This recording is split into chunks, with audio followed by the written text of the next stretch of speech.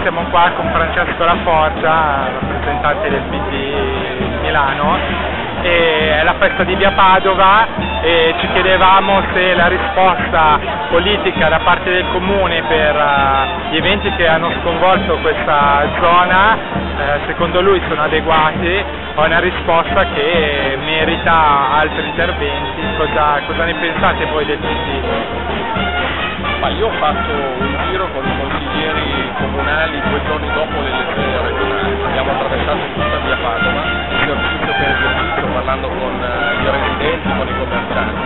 E la risposta dei residenti e dei commercianti è stata praticamente univoca, cioè le misure della Moratti non solo non sono servite a nulla in relazione al tema della sicurezza, ma rischiano di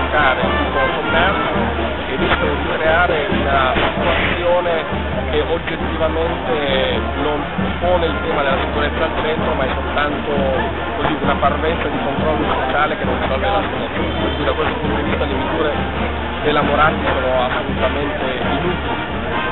E quali sarebbero le misure invece che proponete voi?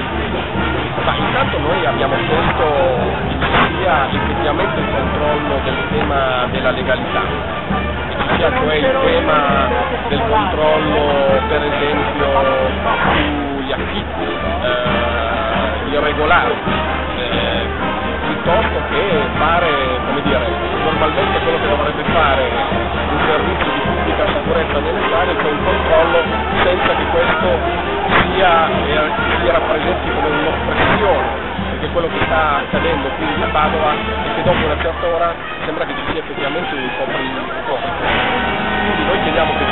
Controllo da parte delle forze di polizia senza che però questo diventi una minaccia.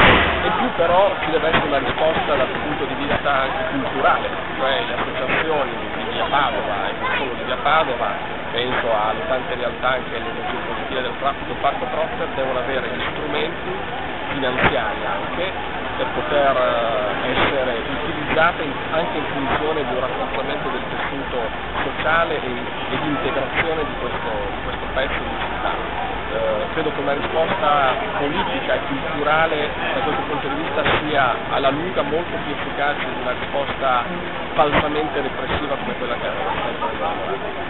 Eh, eh, introduci già il discorso della risposta dei cittadini, la risposta è stata molto forte, più di 58 associazioni si sono riunite in una rete unica per offrire questa festa ma una serie di eventi che potesse essere di aiuto all'integrazione. Come valuti questa risposta forte e come la politica può contribuire a dialogare con questa rete?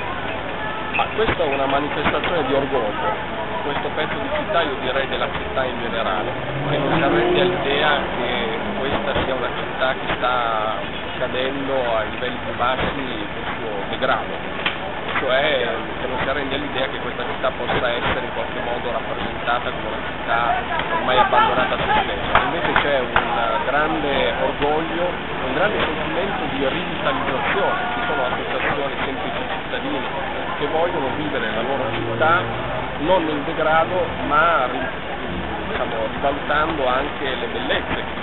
Quella del Parco Trotter, del Parco Trotter a cui facevo riferimento prima è proprio un caso eh, da questo punto di vista rappresentativo. E la manifestazione di oggi è una manifestazione eh, rappresentativa proprio per questo motivo, perché risveglia un orgoglio forse soprattutto forse represso da parte di qualcuno.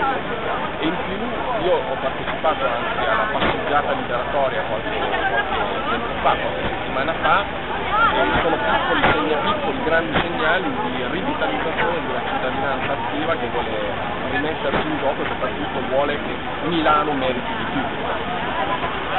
Via Padova è meglio di Milano, è questo lo slogan della festa. Cosa ne pensi? Cosa significa? Via Padova è meglio di quella Milano che è stata gestita dal centro-destra ininterrottamente negli ultimi 17 anni vuol dire che da qui può partire effettivamente un orgoglio che centro-destra ha volutamente e deliberatamente sopito e Padova è meglio di Milano, ma Milano come dicevo prima merita anche molto di più, che partiamo da qui per ricostruire una città effettivamente diversa e radicalmente diversa da quella che abbiamo conosciuto. A noi ringraziamo Francesco Laforgia che nonostante la febbre è sceso in mezzo a noi e nelle vie della città. Grazie. Grazie.